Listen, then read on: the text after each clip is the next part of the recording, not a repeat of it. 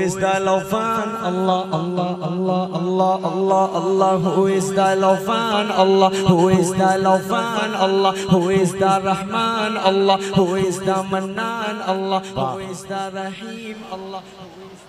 سیرت محسن انسانیت صلی اللہ علیہ وسلم محمد اجمل متعلم عربی چہاروں کو مدعو کرتا ہوں کہ موصوف اپنے انداز میں اس اہم موضوع پر بیان کریں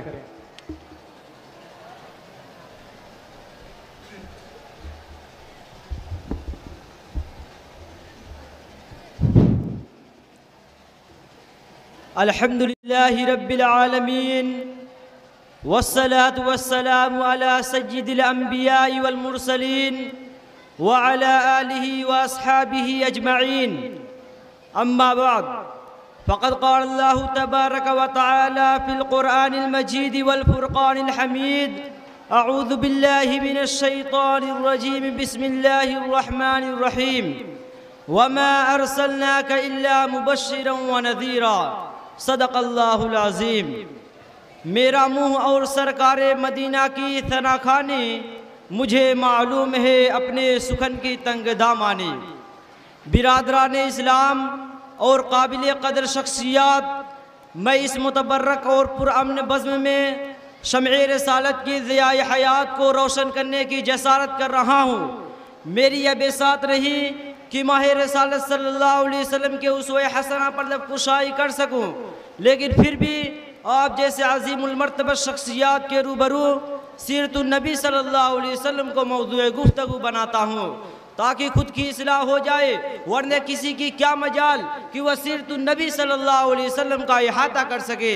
جیسے کہ شاعر رسول حضرت حسان بن ثابت رضی اللہ عنہ کا شعر ہے، جس میں انہوں نے اپنی مجبوری ظاہر کی اور فرمایا ما ان مدحت محمدا بمقالتی ولیکن مدحت مقالتی بمحمد.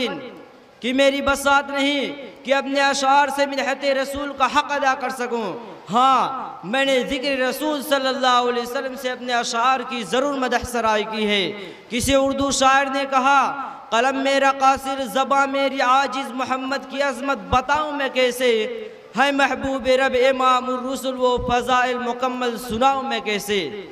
ملت اسلامیہ کے دھڑک دے دلو، بیست نبی سے قبل پورے جزیرت العرب پر کوئی حکمرہ حکمرانی کرنے کے لیے تیار نہیں تھا اور نہ نظام مکمل تھا اور عدالت، انسانیت، امانت و دیانت، عصمت و عفت، صلاح و تقوی، زہد و ورع کا جنازہ نکل چکا تھا۔ شرافت و عزت کی کلیاں مرجھا چکی تھی۔ شرک و ضلالت کی تاریخی ہر سمت نظر آ رہی تھی۔ نفرت، ظلمت، شقاوت اور عداوت کا دور دور تھا۔ قدرت خداوندی نے اس پرفتن دور میں شہدائیان لات و عزا کو رشد و ہدایت کے راستے پر گامزن کرنے کے لیے وحشت و بربرجت کو ختم کرنے کے لیے فاران کی چوٹیوں سے آفتاب رسال صلی اللہ علیہ وسلم کو طلوع فرمایا۔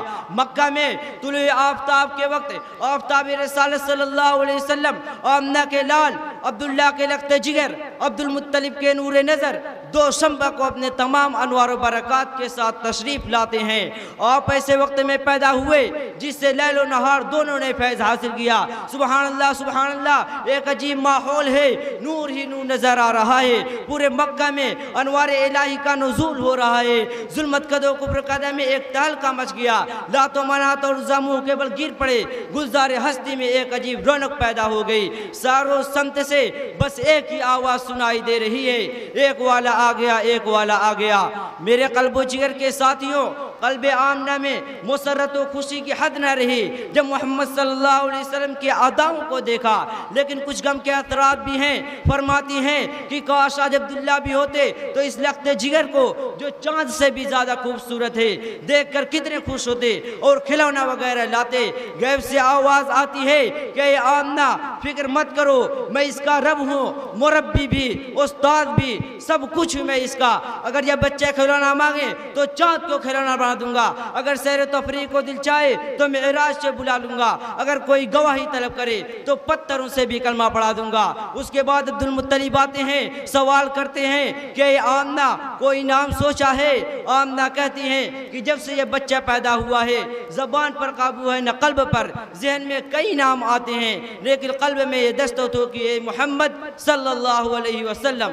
عبد المطلب نے کہا سبحان اللہ سبحان اللہ اے آمنہ، اس نام کو اور اس نام کا بچہ میں نے پورے جزیرت العرب میں دیکھا اور نہ سنا۔ آمنہ کہتی ہیں کہ آپ نے نام تو نہیں سنا ہوگا، اس جیسا بچہ کبھی پورے جزیرت العرب کیا، پوری دنیا میں موجود نہ ہوگا۔ یہ وہ بچہ ہے جس کی تعریف خود رب کائنات کرتا ہے۔ وَرَفَعْنَا لَكَ ذِكْرَكَ۔ ملت اسلامیہ کے پاس بانو، آپ صلی اللہ علیہ وسلم کا نام محمد ہی نہیں تھا، بلکہ عنوان بن گیا تھا۔ آپ کو تمام محاسن کا ایک خوبصورت گلدستہ بنا دیا تھا۔ ہمارے نبی صلی اللہ علیہ وسلم کے اندر حضرت آدم کی صورت تھی، حضرت شیش کی معرفت تھی، حضرت نوح کی شجاعت تھی، حضرت ابراہیم کے اخلاق تھے، حضرت اسماعیل کی زبان تھی، اسحاق والی رضا، صالح والی فصاحت تھی لوت والی حکمت، یعقوب والی بشارت تھی، موسیٰ والا جلال، ایوب والا صبر تھا۔ یونس والی اعداد یوسا والا جہاد تھا، الیاس والا وقار، یحییٰ والی عظمت تھی اور عیسیٰ والا زہد تھا۔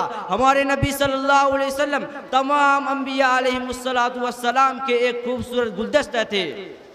برادران اسلام محسن انسان صلی اللہ علیہ وسلم، جس طرح اخلاقاً اور کردار خوبصورت تھے، اسی طرح حسن و جمال کے اعتبار سے بھی بہت زیادہ خوبصورت تھے۔ ام المؤمنین، حضرت عائشہ صدیقہ رضی اللہ عنہ فرماتی ہیں کہ ان مصر کی عورتوں نے حضرت یوسف علیہ السلام کے حسن و جمال کو دیکھ کر اپنی انگلیاں کاٹ دی تھی۔ اگر وہ محبوب کبریہ صلی اللہ علیہ وسلم کو دیکھ لیتی تو اپنے دل کاٹ دیتی۔ اگر میں حسن صفاتی اور جمال و کمال ذاتی بیان کرنے کی کوشش کرتا ہوں تو شیخ سادی کا شعر یاد آتا ہے، بلغ العلا بکمالہ کشف الدجا بجمالہ حسن جمیع خصالہ صلو علیہ وآلہ شاعر کہتا ہے، لا يمکن الثناء کما کان حقہ بعد اس خدا بزرگ تو یہ قصہ مختصر اللہ تبارک و تعالی ہم سب کو نبی کریم صلی اللہ علیہ وسلم کی سیرت تجربہ کو نمونہ بنانے کی توفیق عطا فرمائے اور ہر نیک عمل کی ہمت دے.